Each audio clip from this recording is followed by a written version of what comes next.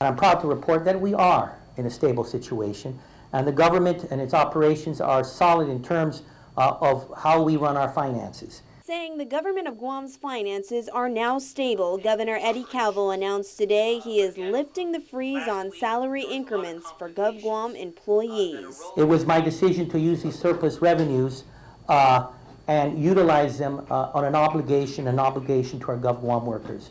That means effective immediately, salary step increases and raises shall commence. All increments earned since they were frozen two and a half years ago will be paid to line agency and Department of Education employees, and all increments during the period of the freeze for autonomous and semi-autonomous agencies will be paid in conformance with respective budgetary authorizations. Now, with the signing of the executive order today, approximately $5 million will be paid out to between 6 and 7,000 GovGuam workers who, despite the freeze and raises, continued to serve the people of Guam. Speaker Judy Won Pat.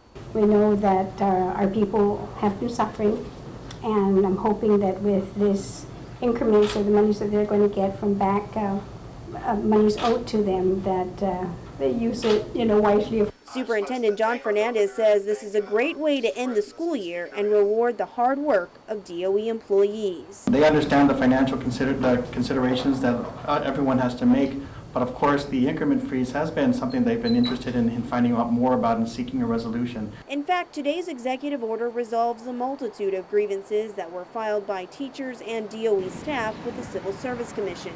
The Department of Administration has been ordered to begin processing the increment checks, and the governor says they could be included with GovGuam workers' paychecks next payday.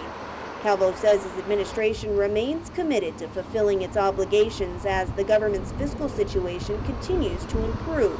He says he's confident that an audit on GovGuam's finances will show that his administration has helped steer the government's financial ship back in the right direction. In the first quarter of this fiscal year, we are also tracking very positively in terms of revenues coming in as projected, uh, as well as in the controlling of expenditures. So it appears that uh, as if things move accordingly, then we'll have very, two very solid years.